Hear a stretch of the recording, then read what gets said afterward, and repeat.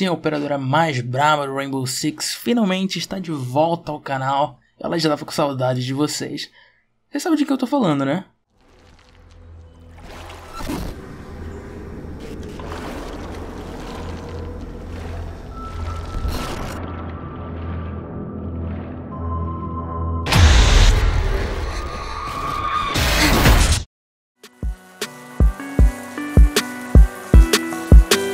E aí pessoal, eu sou o Henrique e esse aqui é o meu canal.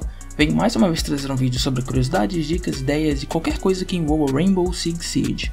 Nesse vídeo vamos falar a respeito dessa demanda tão famosa até dentro do Rainbow Six, que é de sugerir a PDW-9, submetralhadora do Jackal, para a Nuke. Mas antes da gente partir para o conteúdo principal, manda um like, comenta e compartilha, que dessa forma você fortalece muito meu trabalho e ajuda bastante o canal, beleza?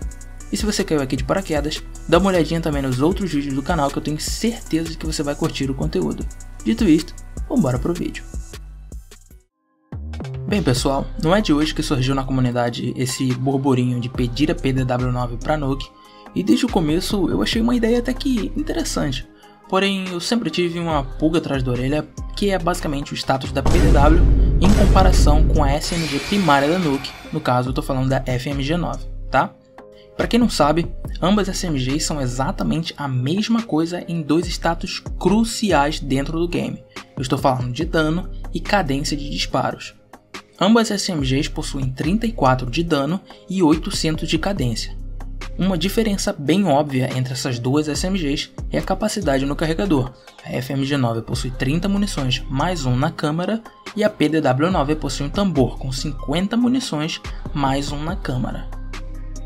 Já se tratando de padrão de recuo, ambas armas possuem um recuo amigável, mas como vocês podem ver na tela, a FMG9 possui um recuo mais irregular, indo um pouco para o lado direito nos primeiros disparos e depois ela tende a ir totalmente para a esquerda.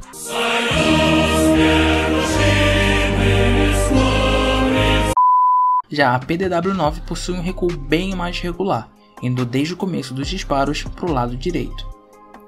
Duas coisas que eu devo salientar é que nesse clipe eu não usei nenhuma opção de cabo nem de bocal. Então dependendo do que você usar na arma, vai mudar drasticamente o recuo. A outra coisa é que a FMG9 não possui nenhuma opção de cabo no guarda-mão, então é mais um ponto a favor da PDW9. Então essas pequenas diferenças seriam suficientes para a comunidade pedir tanto assim a PDW9 para Nuke? Bem, se eu dissesse que essas são as únicas diferenças, eu estaria mentindo. Galera, vocês acham mesmo que a maioria das pessoas pediriam a PDW9 dessa forma sem nenhum motivo? Mas é claro que não. Eu tenho tendências a acreditar que certa parte da comunidade não faz ideia que o status das duas armas são basicamente iguais, mas o real motivo é: a FMG9 é muito desconfortável. E não é pelo fato dela ser bullpup nem nada do tipo, tá? L85 e F90 estão aí para provar o contrário. Mas a questão é que, no papel, a FMG9 é uma das melhores SMGs, mas mesmo assim ela é bem desconfortável para se jogar em um operador atacante, onde você precisa se expor a todo tempo. E isso prejudica bastante a natureza das jogadas que você vai fazer com a Nuke. Inclusive eu fiz um tutorial muito bom e bem completo ensinando a jogar de Nuke o vídeo vai estar no card aí para vocês, na descrição e também no comentário fixado. Então eu acredito que sim, mesmo sendo armas bem similares em termos de dano e cadência, a PDW-9 seria um buff significante para Nuke. A questão de possuir 50 munições e mais opções de customização são outros pontos positivos da PDW-9 no caso da Nuke, e claro, a principal diferença seria a melhora na mobilidade que a PDW-9 iria trazer para Nuke. Mas para quem já é inscrito no canal há muito tempo, sabe que ao invés disso, ou para além disso, eu também daria a opção de um fuzil de assalto para Nuke. E sim, eu sei que agora vai ter gente né. dizendo que seria muito forte, que não é o estilo da Nuke, ok, eu entendo o que dizem, tá? Mas analisando cada argumento. Se a Nuke viesse com um fuzil de assalto desde o começo, alguém iria dizer que não combina ou que não faz o estilo do operador? Pense bem na resposta, tá? Porque a gente tem um operador aí que é 3 velocidade, tem um dos melhores fuzis do jogo e se envolve em combates a curtas distâncias mais que qualquer outro operador de ataque. E sim, mesmo se ela ficasse super forte, o que eu discordo totalmente, é só aplicar a boa e velha regra do Rainbow Six. Abre aspas. É mais fácil nerfar um operador forte que buffar um operador fraco. É só olhar a forma que a Ubisoft conduz as suas mudanças que vocês vão ver esse padrão, tá?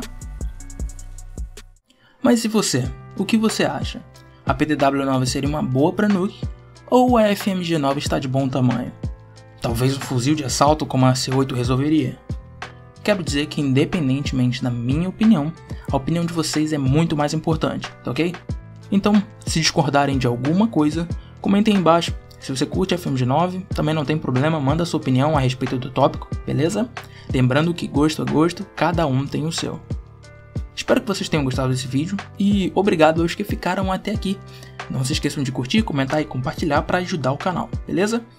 E é, desejo tudo de bom para vocês. Quanto menos imposto possível. Tchau, tchau.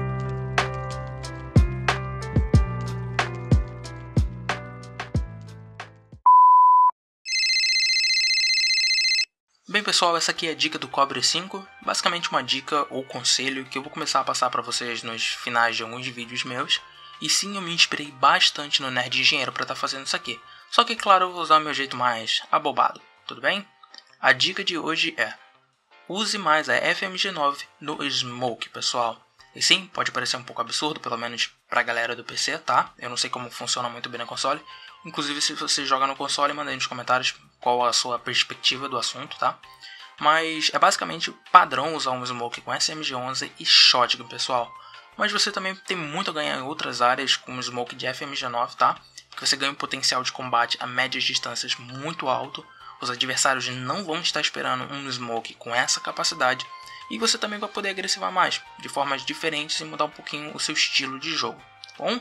Então sim, se você quiser, dá uma olhadinha para ver se funciona para você. Eu particularmente uso a mira 1.5 que faz um estrago danado nos atacantes, tá bom? E lembrando, a FMG9 não funciona muito bem nas mãos da Nuke, mas na defesa, na mão do Smoke, é outra história, tá? Se vocês querem que eu faça um vídeo só falando disso, Mandem nos comentários que eu vou ter o prazer de fazer esse vídeo. E se vocês tentarem fazer esse tipo de mudança na gameplay de vocês, mandem nos comentários também. Tá? E me diz como é que foi, tá bom? É, é isso aí, pessoal. Tá passando um avião aqui e vai estragar a minha gravação. Adiós.